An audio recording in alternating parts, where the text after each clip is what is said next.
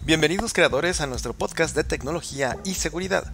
Soy León Ramos. Y yo, Iram Camarillo. Hoy hablaremos de aplicaciones en iOS que graban tu pantalla. Una vulnerabilidad de LibreOffice y OpenOffice. Y el riesgo de usar Remote Desktop para administrar remotamente otros dispositivos. Malware, vulnerabilidades, noticias, seguridad cibernética, era digital, tecnología. Bienvenidos al podcast de creadores digitales.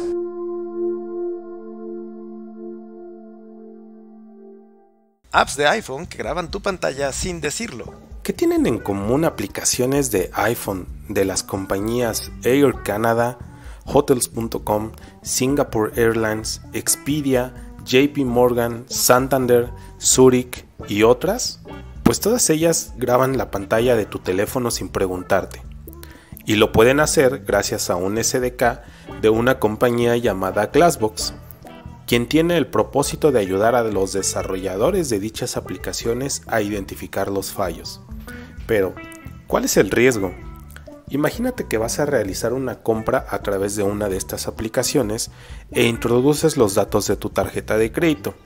Bueno, mientras tú introduces esos datos, la aplicación está grabando la pantalla.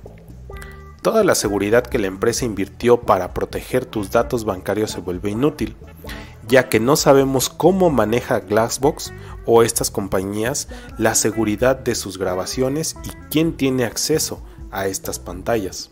LibreOffice y OpenOffice, las suites de ofimática basadas en código libre y disponibles para Linux y Windows, contaban con una vulnerabilidad que permitía ejecutar código remoto. ¿Cómo funcionaba? Un atacante podía generar un archivo ODT con una macro que al poner el mouse encima, es decir, sin siquiera abrirlo, mandara a ejecutar un script en Python. Todo esto sin que el usuario se diera por enterado. Esta vulnerabilidad ya fue corregida, así que si no has actualizado tus versiones, hazlo ahora. Clientes RDP con vulnerabilidades.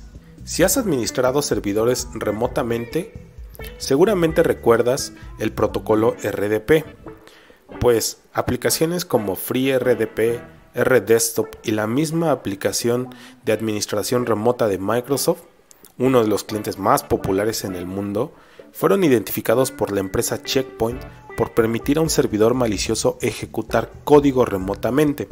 ¿Qué quiere decir esto?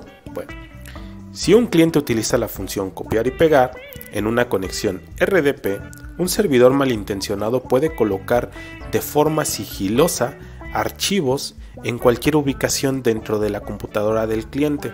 Estos, lo la única limitante para esto serían los permisos del cliente. Así que validen que el servidor remoto al que se conectan sea el correcto y que las aplicaciones que están utilizando con este protocolo estén actualizados. ¿Deberían de habilitar certificados para validar identidades en este protocolo? Lo veremos en un futuro. Nos despedimos esperando encontrarlos en nuestra próxima emisión. Esperen más noticias de seguridad y como siempre, hasta la próxima creadores. Suscríbanse y síganos para escuchar más noticias como estas. Malware, vulnerabilidades, noticias, seguridad cibernética, era digital, tecnología. Bienvenidos al podcast de creadores digitales.